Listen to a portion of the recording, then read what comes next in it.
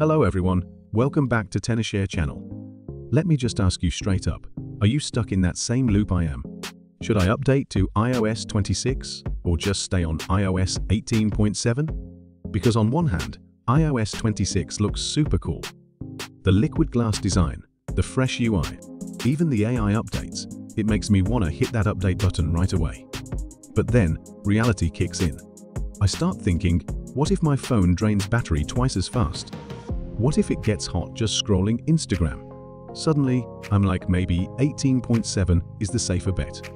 If you've been feeling this exact same conflict, this video's for you. So what's iOS 18.7 all about? It's basically Apple's stability update. Nothing flashy, but it makes sure your iPhone runs smooth. If you've got an iPhone 11, 12, 13, or even 14, iOS 18.7 is like a retirement plan for your phone. Less heat, better battery, and no surprises. Now iOS 26. This one is flashy. The liquid glass UI looks futuristic, animations are slick, and Apple's really showing off its AI features. But here's the problem, older iPhones struggle with it.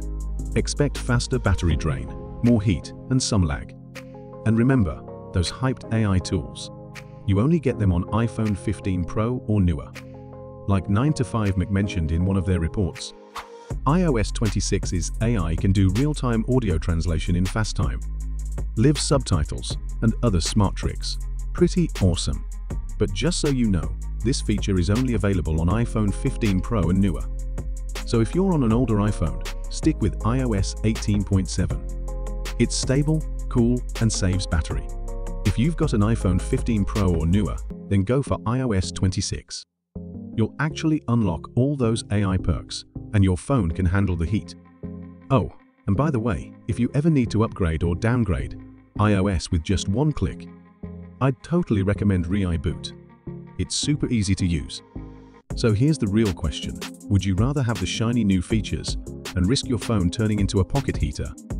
Or keep things stable and let your iPhone last longer? Drop your answer in the comments. I really want to know what you guys think. And of course, hit subscribe for more iOS tips coming your way. Thanks for watching, and I'll see you in the next one.